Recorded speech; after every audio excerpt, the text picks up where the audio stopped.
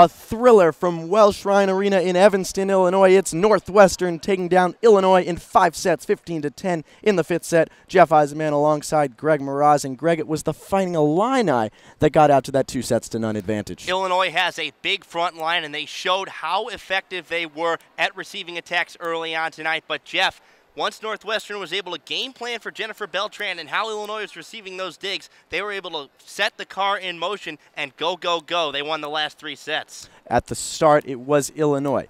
Liz McMahon and Jocelyn Birks, 21 and 14 kills respectively. You look at the assists, Alexis Viliunas, 52, 26 digs for Jennifer Beltran. They were up front offensive. Illinois was strong at the start. One of the things that Illinois did, and you pointed that out with Beltran and Viliunas, they dug and set the ball extremely high. What does that allow Illinois to do? It allows the outside hitters and middle blockers to be able to come over and receive emphatic attacks, and frankly, that's what kept Northwestern out of position. But once Keylor Chan game planned for how Illinois was going to attack, then that's when Northwestern caught fire. Illinois 25 to 19 in both those first two sets. Northwestern went into that break, and Keylor Chan must have said something to the Cats because they came out firing. There's Yawande Akambi with a kill in the third set, a very commanding advantage for Northwestern. Northwestern, you look at the attack percentages in their last three sets 20%, 31%, and 33%. And frankly, you got to give a lot of credit to Kaylee Ryan. She set everybody up extremely well tonight. She had 58 assists in the five sets. That's good for an over 11 assists per set average. And then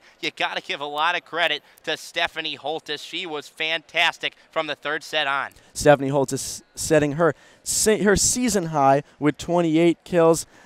That was her career high as well. She now moves into second place on the Wildcats all-time list uh, in in kills and an amazing night. And you talked about it, Greg. When you need your best, when you need your best game, your best players step up. Well, Stephanie Holthus knows how to beat Illinois. She's the only senior on this Wildcat squad, and frankly, she put herself in position off of sets to be able to get points. And when you do that, you're going to have a great chance to win. And 28 kills, that tells the entire story of the last three sets for the Wildcats. And you see the emotion all around here after that last play. There's Maggie Burnham. Don't forget the game she had. She got the start in this match and performed very well. Six kills and six blocks for Maggie Burnham. And you look at Stephanie Holthus, 28 kills tonight to go along with 11 digs. And you can't say that one player won the match for Northwestern, but Stephanie Holthus started the engine that made Northwestern go on that road to victory. A double double for her. She's had a lot of great nights. One of them came tonight, and you look at the stats, Northwestern didn't start that way, but they took the lead in every category by the end of this match. Northwestern just